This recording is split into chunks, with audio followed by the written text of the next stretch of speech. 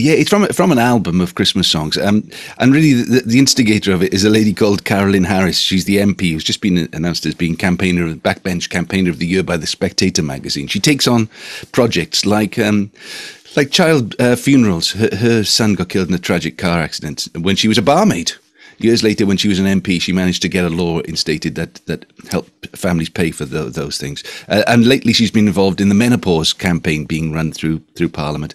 You can't say no to her. Even Jacob Rees-Mogg was was uh, there's a television there's a video of him in the House of Commons saying the, the honourable lady nobody can say no to her, and that's been the case all my life really. We were in school together, in Sunday school together, and um, she she came up with this project maybe five years ago when she was packing hampers on a kitchen table for some local families, and the, and it's just grown and grown and grown. She's always said, "Can you do us a Christmas CD?" Uh, and you know the thing is with Christmas charity records, I mean, one, the world doesn't need another one, uh, and and two, nobody buys records anymore. So how do you make it uh, raise money? So what we said is that we want to raise money and awareness of the charity so that people will donate to their Just Giving page. And the single, well, it's, yeah, uh, Steve Balsamo probably came to national attention when he played the, the, the, title role in Jesus Christ Superstar. He's a fantastic singer. And so I started roping in my friends as well. So we did a version of uh, A Little Town of Bethlehem. And then the monster, then the monster Esther got bigger than both of us with the video. Tell so the video is lovely. We, have got uh, the Salvation Army brass yes. band playing on it, a children and youth We've got it all, sleigh bells. It's got the it's got everything you should tick on a Christmas. You've thrown record. it all yeah, at yeah, it, yeah, haven't you? And there's you packing up a box as well. They actually got you working, Mal, did they? Yeah, it's it, it was it was filmed at a place called Merton Farm Shop. We were packing up hampers but my uh, my very close friend, he's a, he's a set designer, film set designer. So he designed the original Doctor Who series, and he's done Resident Evil, and he's just been working all summer on a film with um, Steven Spielberg, uh, a, a, Dracula film. He was back, so he, I managed to rope him in to make it look the part. And, and actually, as we started to film, he said, he said, why don't we go thriller on this at the beginning? I'm going, what do you mean? We're all going to start dancing. He said, no, no, why don't we do a little bit of acting at the beginning? So there's a little scene with myself and Carolyn Harris as we pack up the, the final hamper. And then we thought, well, I wonder who else. Wouldn't it be great if we got Michael Sheen maybe to do a monologue over the beginning as, as the scene is unfolding? And he's currently doing Good Omens in Scotland. And I mean, all the way through the last two weeks, I've just had pings on my phone with WhatsApp messages with like Catherine Zeta-Jones, like Bonnie Tyler, like Max Boyce, like uh, like uh, Michael Sheen, sending in their contributions to the video, and it's uh, it's made me smile. And I actually brought a little tea to my eyes because Michael Sheen is brilliant at the opening of uh, "O Little Town of Bethlehem." It's great. No, we're not going to give any spoilers. We are going to play the track in a minute, but we're not going to give any spoilers for the video because people need to go and watch it, don't they? And then go and click on the links after it. How, how can we see it? How can we see the video, which is released today? It's released today, yeah, officially at nine o'clock. But uh, do you know what? Because I knew we were doing this, I've set it live already, Esther. So just for the Premier listeners, Inspirational peek. Breakfast. So if you go to www.malpope.com, www.malpope.com, and it should be the first thing you see when you click on. So click on the video. And the idea is if you like it, and if you'd like to use it in your church, because we've done about six videos from the album, including O Come All Faithful, Bleak Midwinter. Uh, if you'd like to use them, then please do free of charge. But if you like them, uh, uh, maybe consider giving to the Just Giving site. And and hopefully this this is happening in Wales. It's being rolled out across the country, in various uh, organisations are taking on. Maybe you could do the same thing in your church or your community. You know, because you know poverty is hidden as well. People don't people are, um, are, are proud and they don't want to look as if they can't afford it. And you know, maybe maybe there are people there that could help in your own community from something like this because everyone deserves a Christmas. It's just bringing around a, a little bag of something, isn't it? A bag of mm. treats, just uh, reaching out in that way. And as we know, we've, we've heard lots of people talk about these kind of projects on the on the show and, and food banks as well. Mm-hmm. And of course, that gift is, is uh, something lovely in itself, but it's also that relationship that it starts, isn't it? When you go around and bring a gift for someone, big smile on your face, that the whole a whole new thing can, can be launched as, as, as a result of that. I heard something this week. Um, if you're going to find out who the Christians are in your area, who would you ask? Would you ask the vicar? Would you ask? You'd ask the poor and the needy because they're the ones who'd be able to point out who the Christians in your area, and I, and maybe yeah. that's maybe that's a good starting point. That's a good challenge, isn't it? Oh my goodness. Let's talk about Christmas music though. You've done this beautiful version of A Little Town of Bethlehem. My daughter has been nagging me to put on Christmas music since about, well, since we came back from summer holidays, basically. So we let her put it on the playlist recently. What What are your favourites? What What is what is what is your must? What's your first uh, Christmas song that you play once the season comes around? Uh, uh, in the bleak midwinter, it's my it was my dad who's no longer with us. I always say uh, when I've when I've been presenting radio programs or doing concerts, I say this is in the bleak midwinter, my my, my dad's favourite carol. And actually, there's uh, uh, when I was preparing this, I've just had two new grandchildren, so I'm knee deep in kids at the moment. And I noticed when my elder daughter had her little boy, and he he was born a bit early, and he was a bit jaundiced and everything, just the way that she nursed him, and and she she kissed him while she was nursing him one day I was at the house.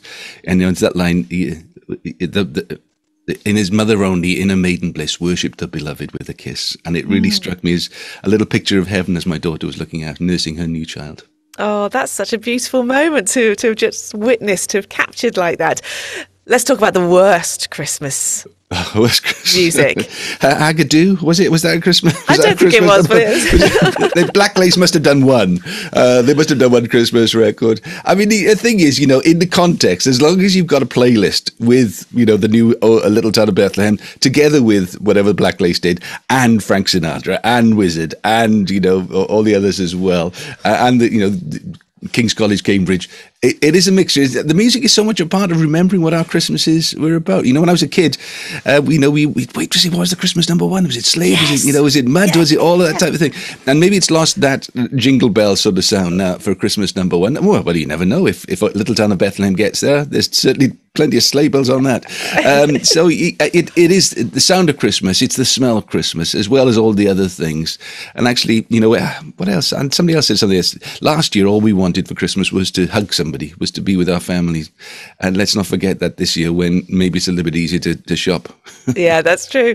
And uh, you've written some original Christmas songs as well as doing beautiful versions of, of classic carols. How, how do you go about uh, writing a new Christmas song when, as you say, it's not like we need anymore, but it's quite no. nice to have some new ones. Well, you've got a couple from new yeah, ones on the album. A couple, of, couple on there. Um, do you know what the thing is? You always write them at the wrong time of year for a record release because you always write them at Christmas, don't you? Because when you're in the Christmas spirit, you know when you, they always say about Wizzard, it was recorded in June, and the kids you know, had to have tinsel in the studio. So it's it's some of them are, are slightly older. Uh, there's a song called "Christmas in My Heart," and actually says, "I fear for Christmas when November comes, when the shops play carols and sell children's guns." You know, it's sort of I, I wrote it at that time of year. It was, it was probably just November into December. So uh, you know that, that the wonderful thing about Christmas songs is if, if they if they survive, they haven't got a time limit on them. They've got a month, uh, it's like sell by date, but every year. Well, ask Noddy Holder. I think Noddy Holder's, you know, probably spent his whole life just spending the royalties to Merry Christmas, everybody. So they come back every year, and hopefully they become part of everybody else's Christmas as well. You know, uh, hopefully, Esther, your children will be listening to a little town of Bethlehem, thinking, "Oh, Mum, can we put that Malpope record on because it makes us feel like Christmas this year when they're in their thirties. I'll give it a try. And of course, we're, we're not at Christmas yet. We're only just at the beginning of Advent. The countdown, uh, the countdown is happening. What does Advent mean for you? Uh, Mal, alongside the, the to-do list yes. and the promotional stuff for your album, what does Advent really mean for you?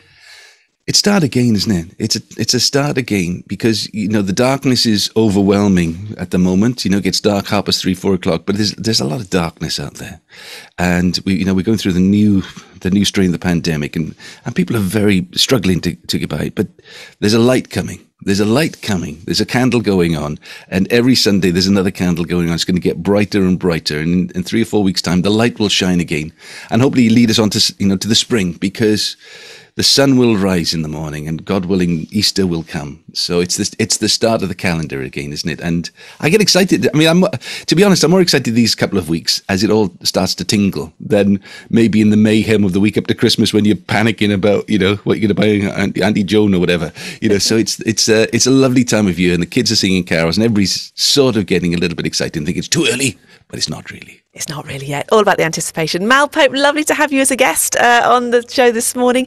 We're going to play your version of uh, O Little Town of Bethlehem right now. And tell us again, where can we uh, hear it more and where can we give to the Everyone Deserves a Christmas campaign? So it's all over the streaming sites and uh, Spotify and Apple and all that. All the links to that and the new video, which is going to be, well, it's launched now for Inspirational Breakfast. It's launched now. www.malpope, all one word, M-A-L, Pope dot com, malpope.com.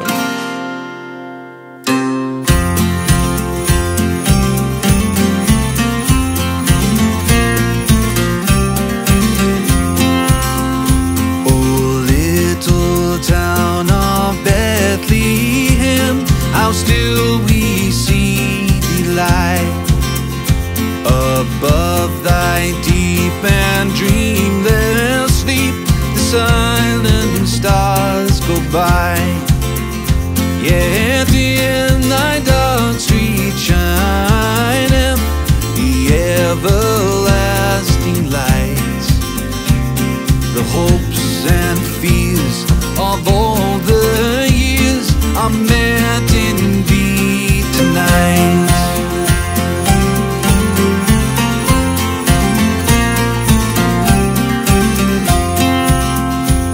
For Christ is born